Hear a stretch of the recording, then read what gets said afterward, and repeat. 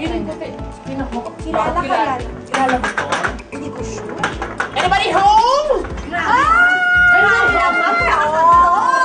Ayan! Ang may-ari ng bahay, si Kakay at si Raul Mitra. Yay! Ay, makipasok kami. Makikiusyoso kami sa mga Christmas tree. Balikan namin tao. Mga kapitbahay, ang aking pong kapatid at manager na si Kakay. Mitra. Yes! Siyempre, ang ating musical director, si Raul Mitra. Si Raul Mitra! Di ba ang ganda-ganda ng bahay ng sisterette ko? Oh, parang we see you? Oo, alam niyo mga kapitbahay, gusto ko lang ikwento na siya po ang naggawa nito. Kwento mo nga, ikaw yung nag... Nag-interior. Only because I'm really creative. Oo, kanong... I can't nung- afford an interior designer. Teka mo na, ikwento mo yung mga paintings na yan. Addict sila pareho sa painting, sila mag-asawa. Hindi naman, hindi naman addict oh.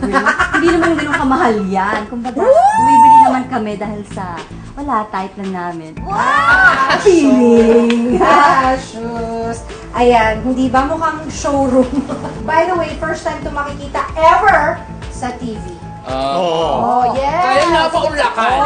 Burn. Yung unang Christmas tree, pakita natin. Ang ganda, di ba? Ang cute. At ako kasi, pinapaayos ko yung house ko pag Christmas. Kaya, wa, wa ko knowing.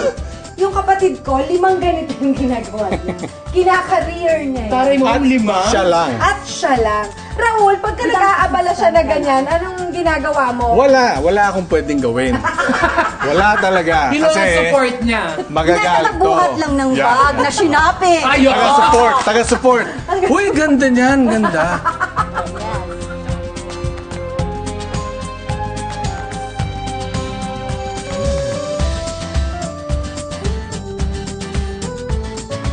So, sabi mo, sabi ng sister ko, Inday, in...